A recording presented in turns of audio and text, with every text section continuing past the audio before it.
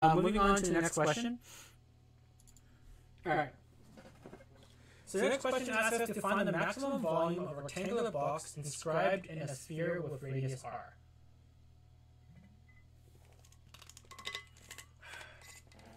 So what it means for a rectangular box to be inscribed in a sphere, if I were to draw the 2D representation of this, so let's say that our sphere has a radius r like this, okay? The, the rectangle is inscribed in a circle is as if the rectangle is touching each of the the vertices of the rectangle are touching the circle. That's what it means by the rectangle is inscribed within the circle. Okay, so it kind of looks like this, but in the 3D representation. Okay, uh, so we have to find the maximum volume of the rectangular box. So the, the strategy involved here is to basically find the volume of the rectangle in terms of the radius and also of the dimensions of the rectangle, and then finding its derivative. And when we find the derivative of this rectangle, we're able to find the dimensions of the rectangle that maximize the volume of this rectangular box, and plugging it back in, we're able to find the volume. Okay, so that's what we're going to do. And this this technique is called what we call optimization. Okay. So the first thing to note is that uh, looking at our 2D diagram here, that the radius of the box, of the radius of the circle, or the diameter of the circle, actually, I should say, is also the diameter of the rectangle if it's inscribed in the circle or the sphere. Okay, so let me draw out the diameter. Sorry for this really crude drawing. It's okay. Um, maybe I should use the line. I'll just draw. Okay. Um, so the diameter. Okay. Let's try this again. The diameter of our rectangle is the same as the diameter of our sphere. Okay. So the diameter of the sphere is equal to diameter of the rectangle. Okay. And given our uh, handy formula, the diameter of a rectangle, so the dr, is equal to the square root of x squared plus y squared plus z squared, where x, y, and z are the dimensions of the rectangle. Or, a rectangular box, I should say. Okay, so equating this to the diameter of a sphere, we see here that the square root of x squared plus y squared plus z squared is equal to 2r, or the diameter of a sphere. Okay, so if we square both sides, we get x squared plus y squared plus z squared is equal to 4r squared. Now we're going to uh, obtain the volume of a rectangular box, which is going to be x times y times z. And um, if we write the this expression in terms of z, we get z is equal to the square root of 4r squared minus x squared minus y squared. Now we're going to plug this into our volume equation, and we get the volume of the rectangular box in terms of xy, and the radius of the circle is xy times the square root of 4r squared minus x squared minus y squared. Okay? So does that make sense so far, I guess? So now that we have a volume uh, formula in terms of xy and the radius, we're going to calculate the partial derivatives of uh, of our equation here. Okay. So by finding the partial derivatives of our derivative, okay, our partial derivative of our functions here, we're able to basically find the critical points of each of our partial derivatives and equate them into a system of equations. And by equating them to a system of equations, we're able to find the values of x and y that satisfies both equations. And if we are able to do that, then we're able to find the dimensions of x and y that um, directly and uh, that that maximize the volume of a rectangular box. Okay, so I'll bring us through it slowly. So when we're calculating partial derivatives, we're going to derive in terms of only one variable, and we're going to keep the other variable constant.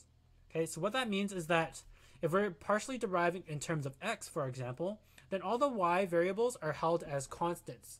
Okay, so now we're going to derive this function in terms of x.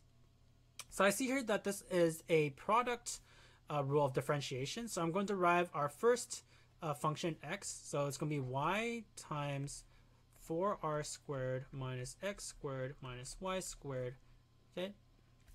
And I'm going to derive the second function, which is y times 4r squared minus x squared minus y squared, which is going to equal minus x squared y, yeah, divided by root of 4r squared minus x squared minus y squared. And that's equal to y times 4r squared minus 2x squared minus y squared divided by the root of 4r squared minus x squared minus y squared. So this is the partial derivative in terms of x of our function. And if I were to do the same for our y, we get the partial derivative in, of y to be x times 4r squared minus 2y squared minus x squared divided by the root of 4r squared minus x squared minus y squared. Okay, so you guys can pause the video and you guys can calculate the partial derivative, is but it's basically the same thing as calculating the partial derivative of x. Instead, you're holding x to be constant and you're deriving in terms of y. Um, and you're using the chain rule for the second function, and you're using the product rule of differentiation for the entire function. Okay, so now that we have found our partial derivatives, we're going to set both of these equal to zero. So if you set v of x to be equal to zero, we are going to find the values of x and y that satisfy our vx equal to zero. Okay, but since it's a rational expression, we all we need to do is examine the um, the numerate the expression in the numerator because the expression in the numerator dictates whether when our function is equal to zero. Okay, so we're going to examine y times 4r squared minus 2x squared minus y squared is equal to 0. And the same thing for partial v of y our partial y of v, we're going to examine just the numerator, which is x times 4r squared minus 2y squared minus x squared equal to 0. And then we're going to equate these in a system of equations and solve for the variables that satisfy both of these equations. Okay, so looking here, we can cancel out y in our partial derivative of x and cancel x in our partial derivative of y by dividing both sides by x and y. Okay, by doing so, we get this system of equations. 4r squared minus 2x squared minus y squared and 4r squared minus 2y squared minus x squared equals 0 equals 0. Okay, so I'm going to use the process of elimination instead of substitution to calculate or to um, com computate or compute the uh, system of linear equations here. So the first thing I'm going to do is I'm going to multiply equation 1 by 2. So if I multiply equation 1 by 2, we get 8r squared minus 4x squared minus 2y squared equals 0. And this is 3. And now I'm going to do 3 minus 2 here. So if 3 is minus 2 here, we get r 4r squared minus 2y squared minus x squared. Equals 0. And if I subtract this, what we get, we get 4r squared uh, minus 3x squared. Right? Yep. And we also get uh, y squared, 2y squared plus 2y minus 2y squared plus 2y squared is equal to 0 is equal to 0. And now we have here that we can solve for x in terms of r, right? So x is going to equal 2r divided by root 3. Okay? So now we have found the value of x that satisfies these equations, and now we're going to plug x back into one of our equations here to solve for y. So we're going to plug x back into 3, and if we plug x into, let's not do into 3, let's do into 1, we get 4r squared minus 2 times 2r divided by root 3 squared minus y squared equals 0. We get that y is equal to 2r root 3. Okay. So now that we have x and y, right, we can now find z.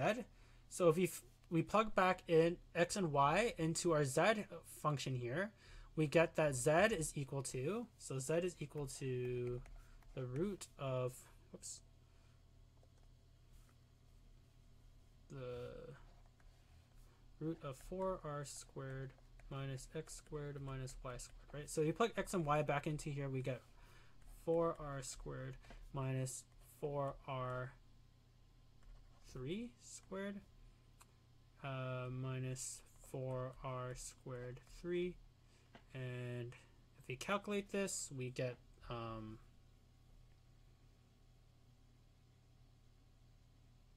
Twelve eight four. We get the root of 4r squared 3 or 2r root 3. Okay, so z, x, and y are all equal to 2r root 3. So therefore, the volume that is maximized by these dimensions is going to be equal to uh, volume is equal to x times y times z, which is equal to 2r root 3 cubed, and that's equal to 8r cubed 3 oh, times divided by 3 times root 3. Okay, so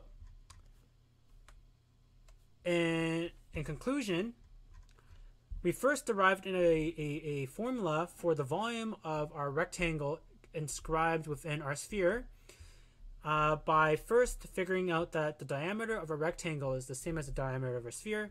By doing that, we're able to express the uh, z dimension of our rectangle as in terms of the radius and x and y. And by doing so, we're able to find a formula for the volume in terms of x and y only.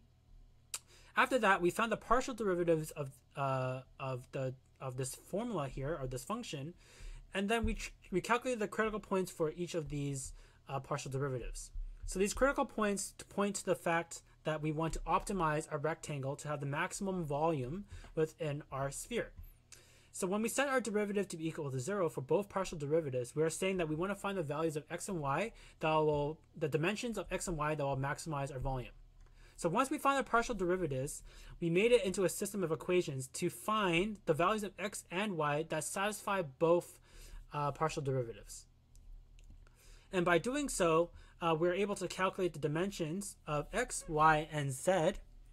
And it turns out that the dimensions that maximize uh, the volume of a rectangular box within a sphere that is a cube with the dimensions 2r divided by root 3. Okay, so other than that, the solution is correct and we can move on.